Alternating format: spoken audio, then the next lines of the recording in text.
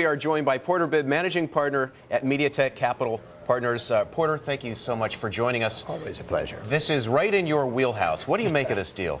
Well, 20, 30 movies for $4 a pop, uh, sharing movies with your friends, social networking. Uh, it's a beginning for Facebook. It's not anywhere for Miramax. It's, it's not going to work. It's it's a beginning. Uh, it, it, sounds like it's not even a step. It's maybe a wiggle of the toe.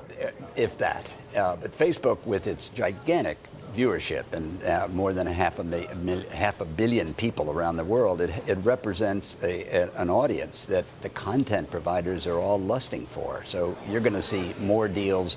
As Gigi just mentioned, it's third in, the, in terms of uh, video uh, distribution right now in the world. And once they start doing deals with the studios and the television networks, look out.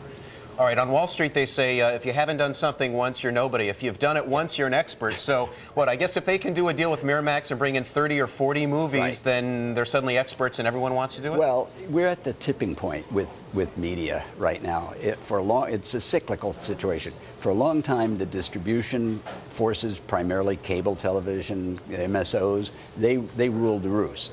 Now it's back to the content, and because distribution has been fragmented, there are a hundred different ways you can get video and films, whether it's off television or, or the internet or in the cloud or off the cable. Um, what, what happens now is the, the content providers are making a lot of cash with deals selling licenses to cable and the existing infrastructure, but they're looking at a much, much bigger universe, and that's what's going to be the change. That's why we're at the tipping point. All right, talk to us about the proposed sale of Hulu.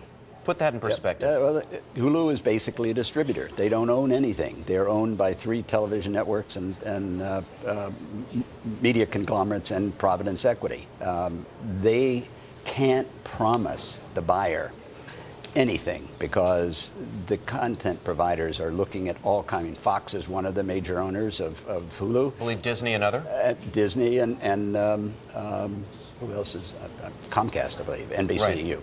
Okay, um, Fox already has taken a lot of their television content and some of their movies and put them out through other channels, and they've just last week extended. It used to be 24 hours after a show aired on Fox, you could see it on Hulu. Now it's eight days. It's going to be 30 days next week whenever they decide that they can make more money through other channels.